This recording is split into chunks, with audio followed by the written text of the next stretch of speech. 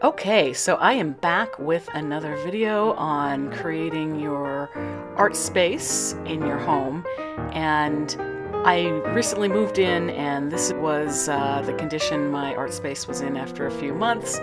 I never quite got it set up completely. It was functional, but you know, not where it should be. So I decided to just take everything apart and I really needed something to protect my walls because I'm renting. So I actually brought this cardboard from my old townhouse that I was renting. And basically, this is just two big sheets of cardboard that I painted white. So it really protects the wall against extra nail holes as well as paint splashes.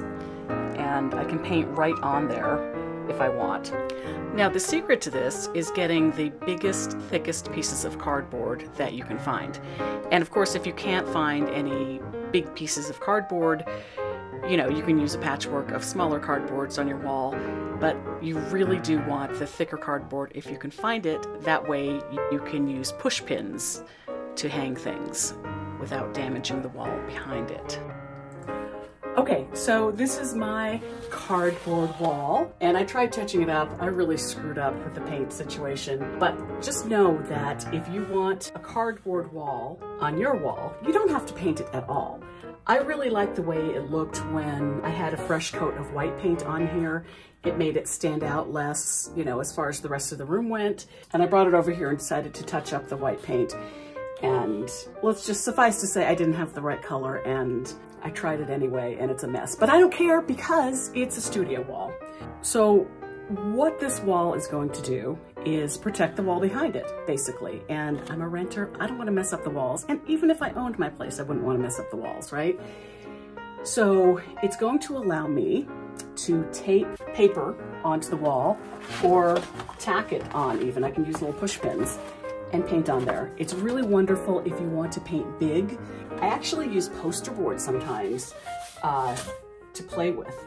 And I'll just tack it up here or tape it up here and paint. And if you haven't painted big, you should. It's so wonderful to just be able to move your whole body and get your whole body into it instead of just being confined to a little space. So this is great if you work on paper, if you work on canvas and you're worried about over painting, you know, like splashing some paint onto your wall, this is good for you also. Frankly, I just like to be really protected wherever I paint so that I don't have an opportunity to get paint on anything that shouldn't have paint on it. So I'm extra careful. And here I am putting things back together. And everything you see me doing right now, I'm actually tacking up. So I'm putting push pins up to hang all of that art.